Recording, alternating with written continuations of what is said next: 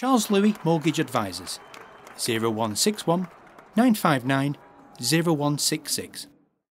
Let's start with Doug as as as a non-professional sports person who consumes sport and obviously has been brought up on American sport. First of all, what, what do you think are the pros and cons on, on the way your country does these things? And is it something you would want to be brought more into the game? Is soccer, football, whatever you want to call it, something that you want to protect from the, the Americanization? Um, how, how do you see this subject from your point of view?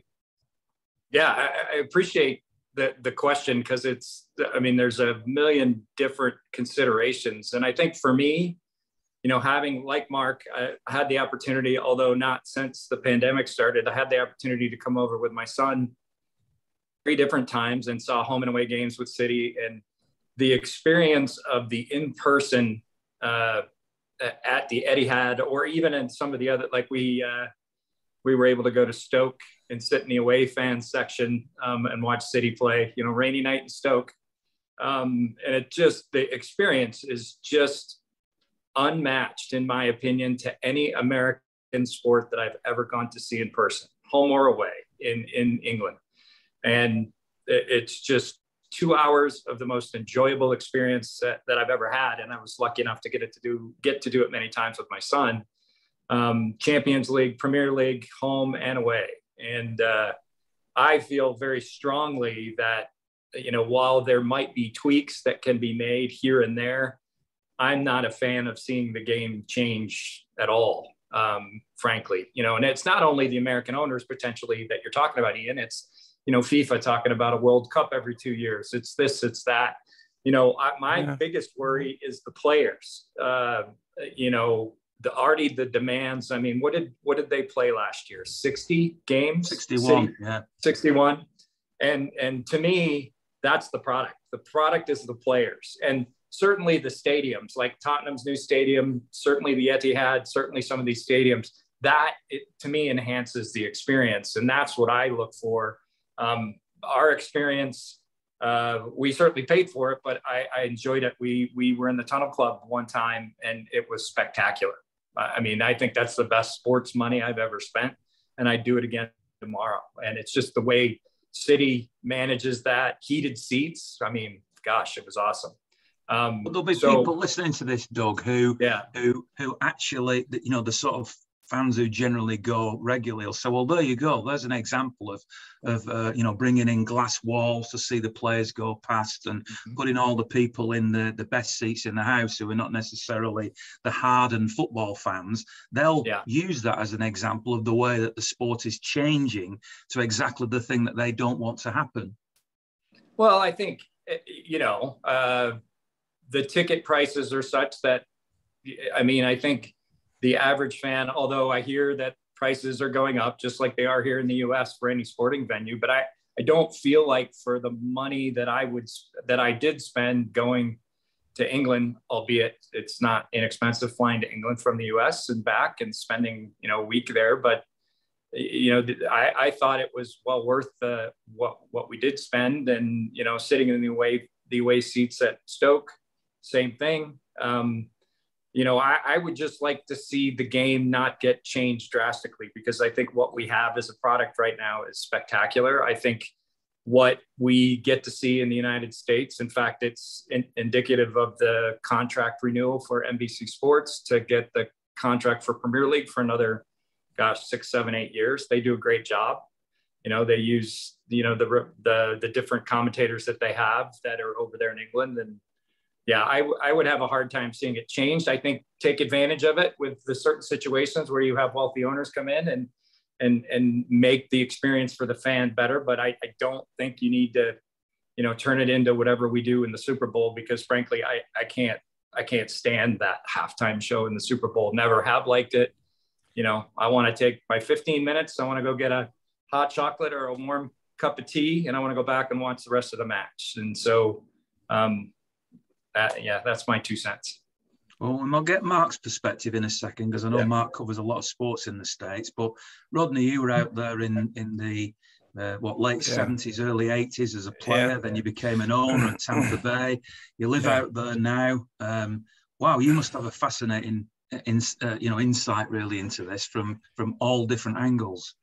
Um, indeed, I do. Um, th- there are. Uh, this could be a three-hour podcast, by the way. I won't take three hours, of course, but I believe that the that the American owners, in particular, and I'm and I'm dividing the American owners away from the rest of the uh, the oligarchs and the um, you know the sovereign wealth funds and all that. I'm, I'm, I'm, I'm taking Americans out of that and using the comparison, and that is this: when I first came uh, to America, it was in it was in um, uh, 1976. I left the Manchester City, and it was in March the, uh, of 1976 that I signed for the Tampa Bay Rowdies.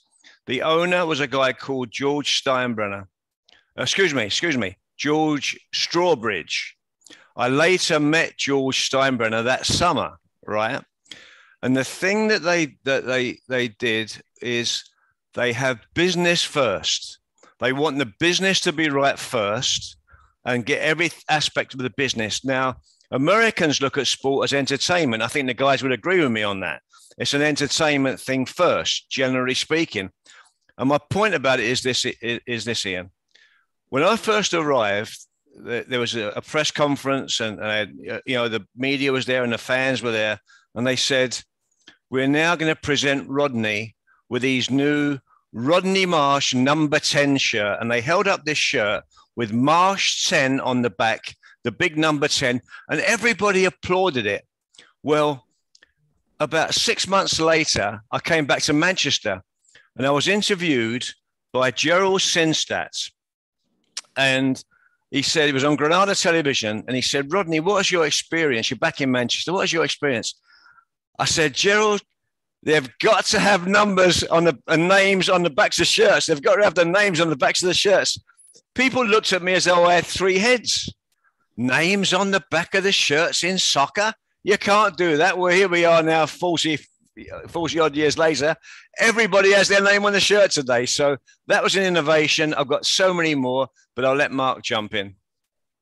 Oh, I think Rod. I think Rodney is exactly right. It would probably take us three hours to do this topic justice because there are so many layers to this, and it really depends on your perspective. I, you know, some of the things that we do here in the states could certainly enhance the game, but there's obviously some things that that would be reprehensible. And as an American, I, you know, I find them reprehensible to think about, starting with, you know, the Super League. Why did the Super League offend people so greatly? You know, promotion and relegation is what this sport is, you know, it's the spine of this sport. And you have a bunch of foreign owners who want cost certainty. They don't want promotion and relegation because they want to know that they're cashing in their zillions every year. And, and so, you know, that's that's the extreme example of of what the bad influence can be. But look, from a match experience point of view, I mean, the English game is so far superior to our sports here. It's not even close. And and and I'm interested to, to, you know, I remember being a kid when Rodney came over here and follow, you know, I knew him as an NASL player before I even started following City. So, you know, I, you know, Rodney Marsh of the Tampa Bay Rowdies, that's how he came into my life. And I remember there was that famous quote you had where I think you said something to the effect of, you know, football in England is a gray game and gray weather with gray people, something like something along those lines. But yeah. I think I think it's the opposite now. When I when I go when I was just at three city matches and the passion is off the charts. And the NBA is my work sport. That's the sport I cover. It's so damn expensive. The quote, true fans are priced out of it.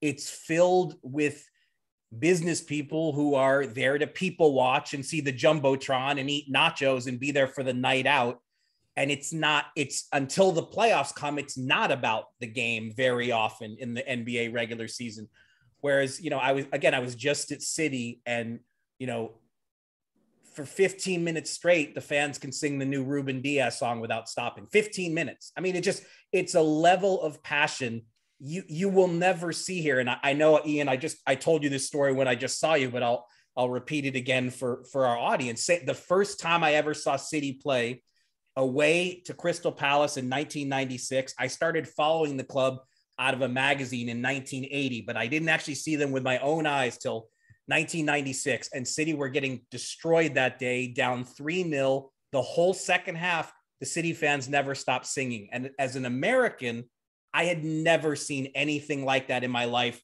At NFL, NBA, NHL, baseball, whatever the sport is, just nothing I had ever seen. And so I desperately hope that there are no changes that that ever change that because you know the atmosphere at a Premier League game is something that's magic.